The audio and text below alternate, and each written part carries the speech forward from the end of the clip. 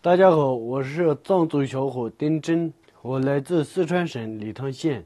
我的家乡去年刚刚脱离贫困，我也找到了一份稳定的工作。我和我的小马珍珠在我的家乡理塘，欢迎朋友们来旅游，祝大家春节快乐，扎西德勒。凭借着一段野性与纯真并存的微笑短视频，二零二零年十一月中旬，丁真引爆互联网。几天后，理塘旅投公司将其签下，旅游宣传片火速推出。社交媒体短视频平台的运营，让丁真现象成为2020年中国互联网标志性事件之一。理塘地处川藏滇交界处，海拔超四千米，常住人口七万余人，雪山直插云霄，草原一望无垠，高原风光绝佳，有“天空之城”的美誉。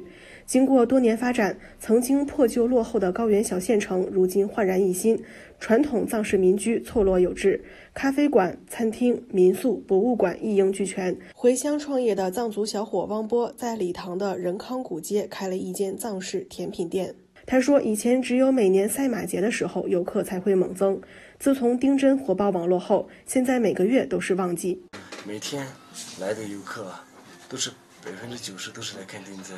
丁真没火之前，最旺季的时候，我这边的话就是每个月营业额也就没超过两万五吧。通过丁真火了以后呢，我在这里的所有的营业额啊，各方面的人气，全都是它的双倍，也可能比双倍还更多。如今，礼堂正在被越来越多的人所熟知。到礼堂旅游的游客，或是来看丁真本人，或是来看丁真的家乡，或是感受藏族的文化，多少都会因为丁真元素踏上旅途。丁真同学，他身上有那么多的让我们打动我们的地方，比如说纯真、呃清澈，还有啊他那么美好的原来的生活状态。啊，其实这些都是可以成为呃大家喜欢的理由。但是，我想丁真的道路不仅限于此啊，他还有很长的路去走。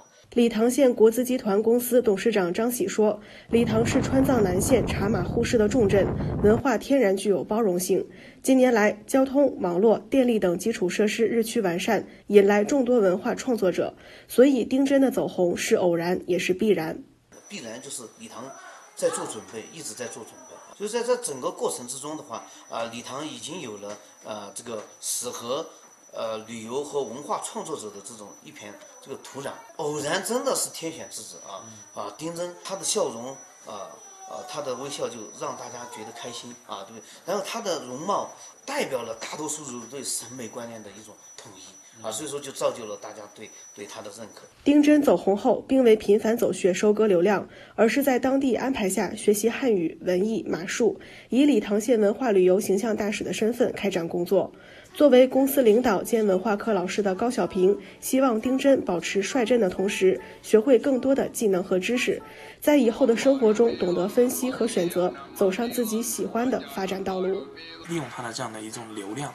能够很正向的去宣传咱们礼堂的文化和旅游，我觉得其实这是一件很很功德无量的事情。他需要时间去稳固自己的学习，让自己能够将来在社会上能够啊知道自己呃的选择，去选择自己想要的一条道路。